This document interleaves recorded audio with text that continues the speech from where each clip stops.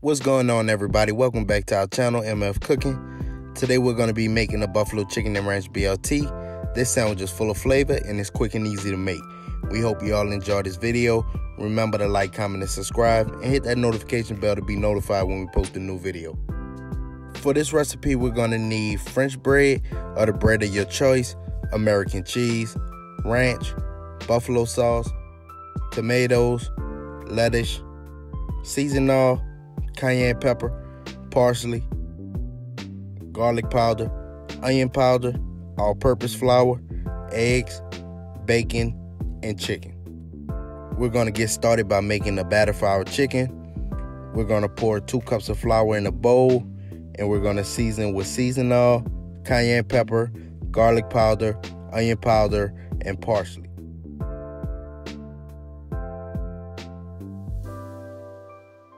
Then we're gonna mix and place to the side.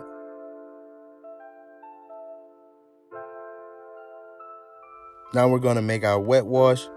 We're gonna start by cracking two eggs in a bowl, and then we're just gonna season with Season-All and mix and place to the side.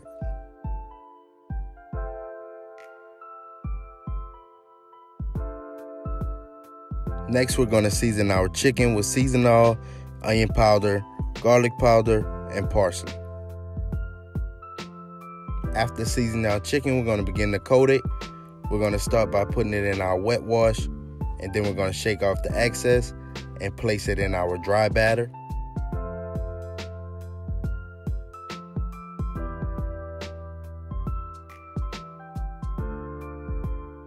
Once again, we're going to shake off the excess and place on the cooling rack.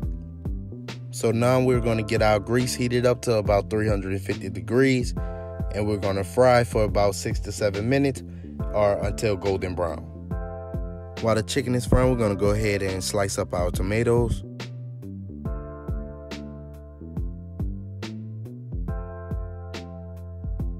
Now we're going to shred up our lettuce.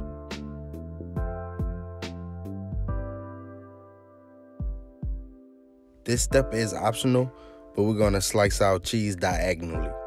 Now we're gonna go ahead and open our bread. Be careful because you don't want your knife to go all the way through your bread. We just wanna make a pocket. Since our chicken is almost done, we're gonna go ahead and start frying our bacon.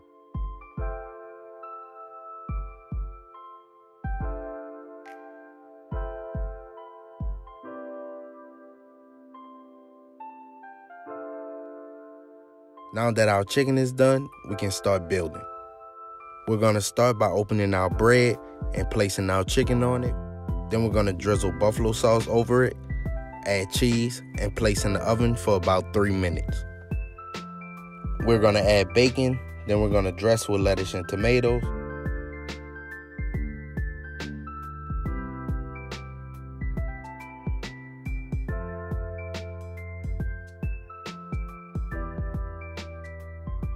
Then we're gonna drizzle ranch and a little more buffalo sauce on top. And there goes our buffalo chicken and ranch BLT.